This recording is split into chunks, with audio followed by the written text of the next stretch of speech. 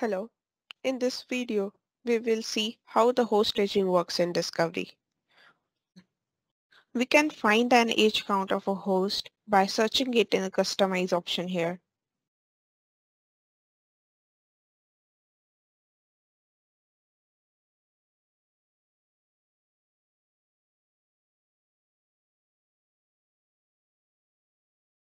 For example, this host has an age count 4. Let's scan this host.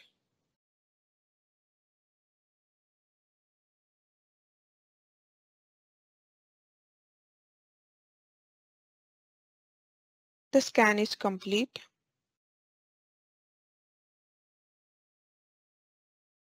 The result is successful.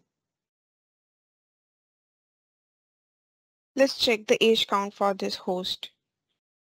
I will refresh the page.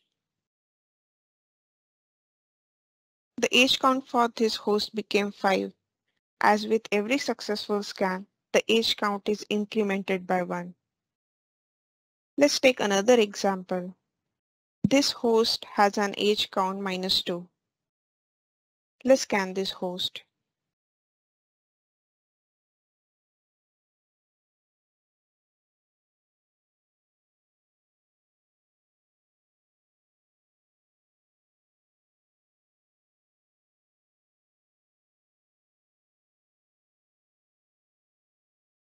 The scan failed. Let's check the age count for this host. It become minus 3. As with every subsequent failed scan, the age count is decremented by 1. Aging is controlled by model maintenance settings. Here, the device aging access failures, which specifies the access failure limit for a device, is 7 failures by default and device aging time limit which specifies the aging time limit for the device is 10 days by default. This is called as an aging threshold. When the aging threshold is reached, the discovery destroys the device and the removal will sync the mark as deleted flag in CMDB to yes in ADDM dataset. Here, the number of credential failures that count as one failed access setting plays an important role. By default, five credential failures are counted as one failed access.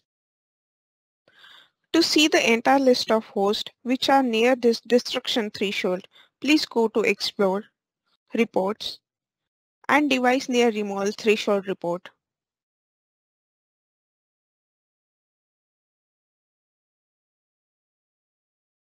This report will show you the list of scanned devices that have not been confirmed and are near their removal thresholds. The report will also show you the approximate indication of removal deadline. For example, this host was scanned successfully three years ago. The scan for this host has been failed five times consecutively, and this host is eligible for removal after two more scan failures. Thanks for watching.